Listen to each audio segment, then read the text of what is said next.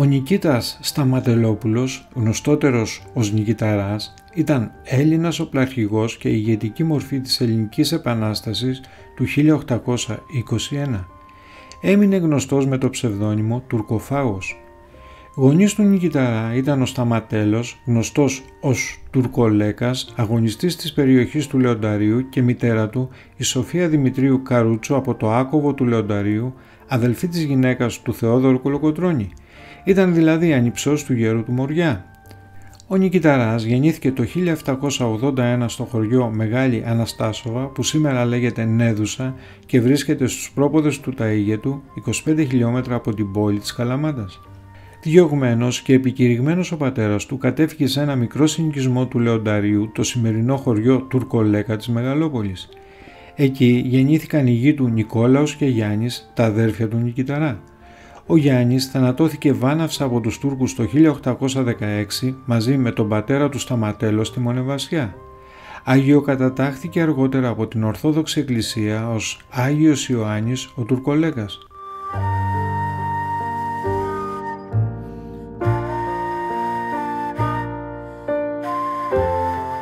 Ο Νικηταράς από πολύ νεαρή ηλικία εντάχθηκε ως μπουλουξής επικεφαλής δηλαδή μπουλουκιού, στο σώμα του περιώνυμου κλέφτη Ζαχαριά, όπου διακρίθηκε για την ανδρεία του.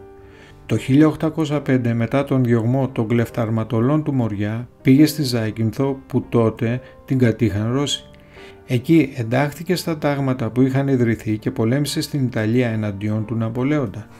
Αργότερα επέστρεψε στα Επτάνησα και υπηρέτησε τους Γάλλους που τα είχαν καταλάβει με τη συνθήκη του Τίλσιτ. Το 1808 επέστρεψε στο Μοριά μαζί με το θείο του Κολοκοτρώνη για να βοηθήσει τον Αλή Φαρμάκη που τον καταδίωκε ο Βελή Πασάς. Στη συνέχεια ασχολήθηκε με τη στρατολογία Αλβανών Τσάμιδων στο πλαίσιο του σχεδίου των Γάλλων για τη δημιουργία Έλληνο-Αλβανικού κράτους. Στις 18 Οκτωβρίου 1818 ενώ βρισκόταν στην Καλαμάτα μοιήθηκε στη φιλική εταιρεία από τον Ηλία Χρυσοσπάθη. Ο Νικηταράς δεν κράτησε το οικογενειακό επώνυμο Σταματέλος, αλλά το έτος 1818 μετά τη μίση του στη φιλική εταιρεία πήρε το υποκοριστικό Σταματελόπουλος. Το παράδειγμά του ακολούθησε και ο αδελφός του Νικόλας. Στον ελληνικό λαό όμως έμεινε με το αγαπημένο του προσωνύμιο Νικηταράς που του αποδόθηκε μετά τη μάχη στα Δερβενάκια και υιοθέτησε ως επώνυμο ο γιος του Ιωάννης μετά το 1854.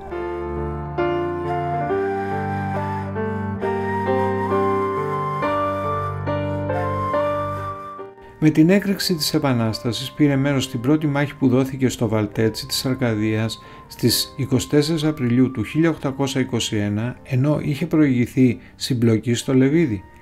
Μετέπειτα στη μάχη των Δολιανών ο Νικηταράς που κρατούσε με 450 άντρες τα Άνω Δολιανά κατάφερε να αποκρούσει χιλιάδες Τούρκους που επιτέθηκαν με τη βοήθεια πυροβολικού. Επειδή έπεσαν πολλοί Τούρκοι από το χέρι του εκείνη την ημέρα, οι άντρες του τον ονόμαζαν Τουρκοφάγο. Διακρίθηκε και στις μάχες που ακολούθησαν, όπου συνεργάστηκε με το θείο του, το Θεόδωρο Κολογοτρώνη, κυρίως δε στην Πολιορκία και την άλωση της Τριπολιτσά, καθώς και σε άλλες μάχες στη στερεά Ελλάδα. Ήταν ένας από τους σημαντικότερους αγωνιστές της Επανάστασης του 1821. Συντηρούσε δικό του σώμα ενόπλων με άντρες που προέρχονταν από διάφορα μέρη της Ελλάδας. Συμμετείχε και στην αντιμετώπιση του δράματος στην Πελοπόννησο. Όταν οι Έλληνες κατέστρεψαν τη στρατιά του Δράμαλη στα στενά των Δερβενακίων, ο Νικηταράς μαζί με τους Δημήτριο Υψηλάδη και Παπαφλέσα είχε καταλάβει τη χαράδρα γύρω από τον Άγιο Σώστη από όπου θα περνούσαν οι Τούρκοι προκαλώντας τους μεγάλη καταστροφή. Κατά τη διάρκεια της μάχης μάλιστα ο Νικηταράς έσπασε τρία σπαθιά και όταν έσπασε και το τελευταίο λένε ότι το χέρι του έπαθε αγκύλωση και χρειάστηκε γιατρός για να του το ανοίξει και να βγάλει το σπαθί.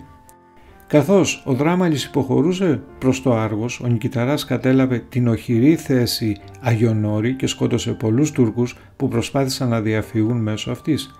Συνετέλεσε δηλαδή στο να υποχωρήσει ο Δράμαλης υφιστάμενος πανολεθρίας στις 26-28 Ιουλίου 1822. Στη συνέχεια ο Νικηταράς πήρε μέρος σε πολλές ακόμη μάχες μέχρι που απελευθερώθηκε η χώρα. Η προσωπικότητα του Νικηταρά όμως προκαλεί έκπληξη. Όταν άλλοι οπλαρχηγοί αλληλοσκοτώνονταν για τα αγρόσια, εκείνος μετά την άλωση της Τρίπολης δεν θέλησε να πάρει ούτε ένα λάφυρο. Όταν τελείωσε η μάχη, οι πολεμιστές που άρχισαν να μοιράζουν τα λάφυρα αναζήτησαν τον Νικηταρά. Αυτός είχε αποτραβηχτεί. Το βρήκαν και το ρώτησαν τι θέλει και εκείνος τους απάντησε «Δεν θέλω τίποτα. Θέλω να δω την πατρίδα μου λεύτερη». Με το ζόρι του χάρισαν ένα άλογο μεγαλόσωμο και ένα σπαθί. Και έτσι λοιπόν τα χρόνια πέρασαν και με αίμα και δάκρυα η Ελλάδα ξαναπάτησε στο ρημαγμένο τόπο της.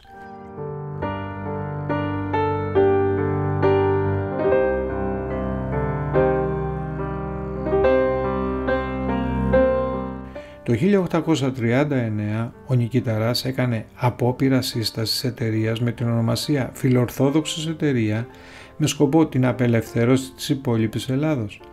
Οι πράξεις της εταιρείας κατ' επίφαση είχαν σκοπό την απελευθέρωση της Μακεδονίας.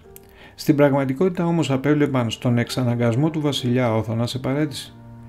Ο Νικηταράς, αφελής για το τι συμβαίνει, είχε πέσει σε παγίδα του Ρώσου πρεσβευτή η ελληνική κυβέρνηση φοβούμενη ότι το Ρωσόφιλο κόμμα επεδίωκε να εκθρονήσει τον Όθωνα, συνέλαβε τον Νικηταρά το 1839 και τον καταδίκασε αν και αθώο σε 1,5 χρόνο φυλάκιση την οποία εξέτησε στις φυλακές της Έγινας.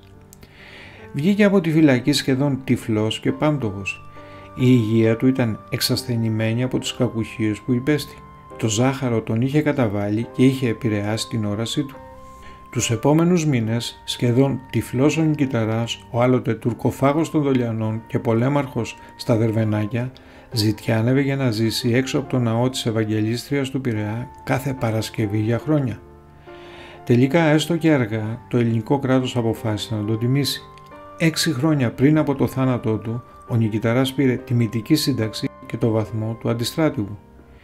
Είχε παντρευτεί την κόρη του κλεφτοκαπετάνιου Ζαχαριά και απέκτησε δύο κόρες και ένα γιο, τον Ιωάννη Σταματελόπουλο, που ακολούθησε καριέρα στρατιωτικού.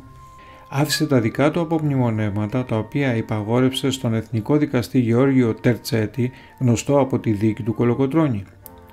Ο Νικηταράς πέθανε στις 25 Σεπτεμβρίου 1849 σε ηλικία 68 ετών και τάφηκε σύμφωνα με την τελευταία επιθυμία του δίπλα στο θείο του Θεόδωρο Κολοκοντρώνη στο πρώτο νεκροταφείο Αθηνών.